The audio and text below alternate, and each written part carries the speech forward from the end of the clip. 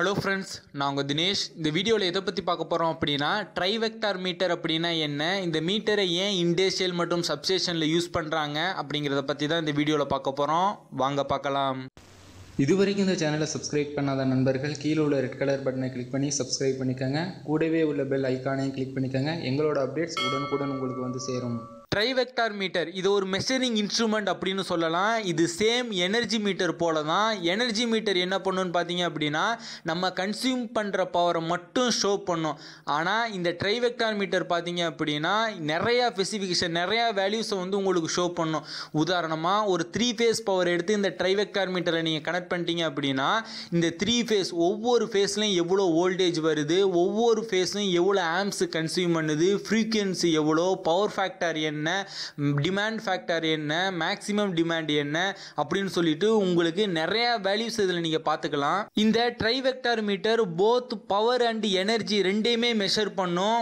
அது மட்டும் இல்லாமல் active power reactive power total power அப்படின்னு சொல்லிட்டு கம்ப்ளீட்டாக அனைத்து வேல்யூஸுமே உங்களுக்கு ஷோ பண்ணும். ஆனால் நம்ம எனர்ஜி மீட்டரை யூஸ் பண்ணி இந்த வேல்யூஸ்லாம் நம்மளால் பார்க்க முடியாது. இந்த ட்ரைவெக்டார் மீட்டரை மெயினாக எங்கே யூஸ் பண்ணுவாங்கன்னு பார்த்தீங்க அப்படின்னா சப்ஸ்டேஷன் மற்றும் இண்டஸ்ட்ரியலில் யூஸ் பண்ணுவாங்க.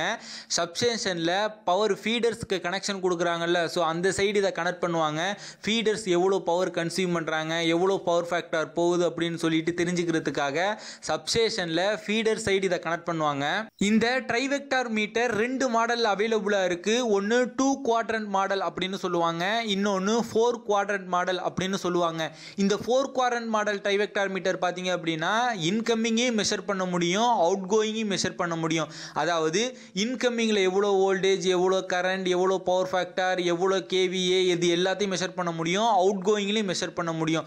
ஆனால் டூ குவாட்ரன் மாடலில் பார்த்தீங்க அப்படின்னா எய்தர் இன்கமிங் இல்லைன்னா அவுட் கோயிங் இதில் ஏதாவது ஒன்று மட்டும்தான் மெஷர் பண்ண முடியும்.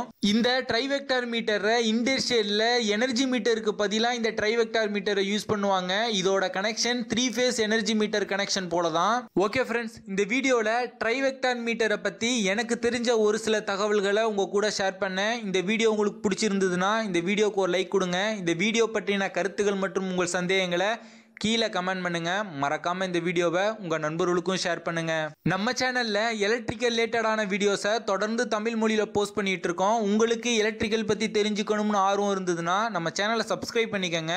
கூடவே உள்ள பெல்லைக்கானே கிளிக் பண்ணிட்டீங்க அப்படின்னா நாங்கள் போடக்கூடிய ஒவ்வொரு வீடியோவும் உங்களுக்கு நோட்டிஃபிகேஷனாக வந்து சேரும்.